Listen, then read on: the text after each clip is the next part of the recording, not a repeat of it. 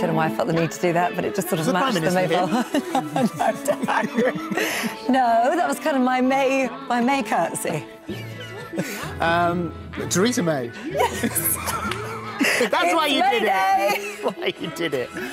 Oh. anyway, we're celebrating May Day with uh, with all the traditions. Erecting our very own maypole outside the studio. Alison Hammond is uh, is having a, a, a bit of a go in a minute. Oh. Uh, how are you? How are you? Uh, oh, look, we've got Lisa Lisa's Snowdon out there as well. How are you getting on? Yeah, we're all here. I've collared a few people. We've got Jane, one of our models. We've got Paulette over there. We've got Lisa, and the lovely Donna Maria has taught us a dance. So we are ready, boys. We've been tirelessly working for the last hour on a dance for you. It's called the Barber Pole. Are you ready? Do you want to see it? Yeah. Okay, get into positions, girls. One hand high,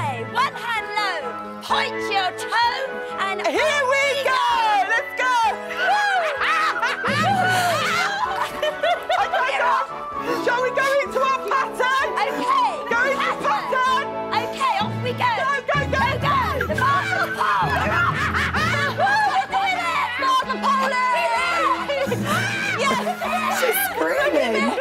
And we have a pattern. And the barber pole is in the middle. Look at that pattern. Look at that.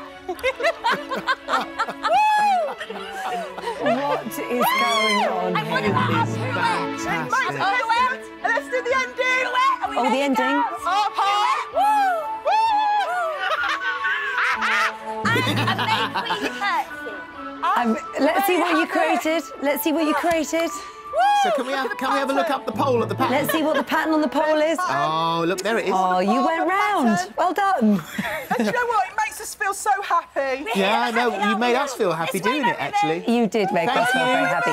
Thank you very much They indeed. curtsied at the end. They did indeed. See, I knew I got it from somewhere. Do you live i- if you live in any of the apartments uh, around? Uh, good morning to you. Good morning, and sorry. Only us.